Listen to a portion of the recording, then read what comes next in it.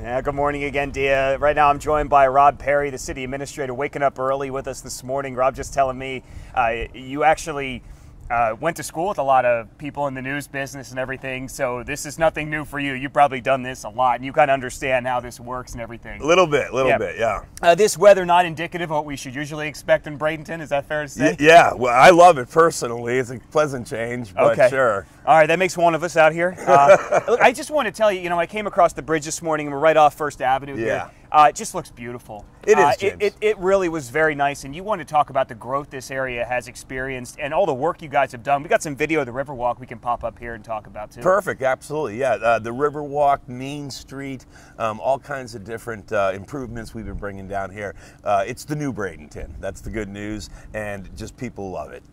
And you know, one of the things that it seems to really appeal to people are these parks and these trails and the, the ways that you can come out here and really experience nature and see things. We're talking about giving people an excuse to to kind of come down south from Tampa. A lot of our viewers, Tampa, St. Pete, everything Right. else. Uh, and as we show you the the beautiful Riverwalk here, uh, lots of great things to do. Take your family, and it won't cost you too much, will it? No, it, it, it's free. It brings you to nature. It's beautiful. You enjoy the outdoors. We got rec pads. We have splash pads.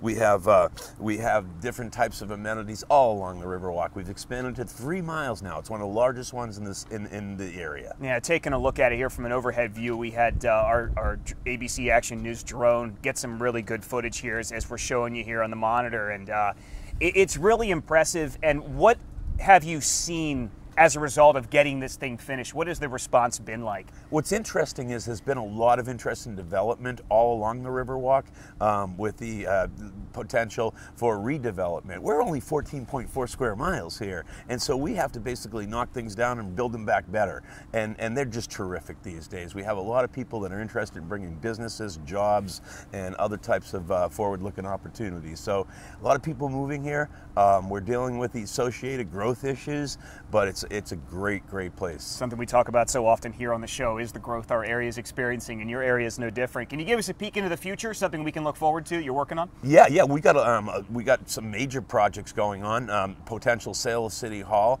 which would be a city center, something uh, akin to uh, uh, probably more uh, hotel.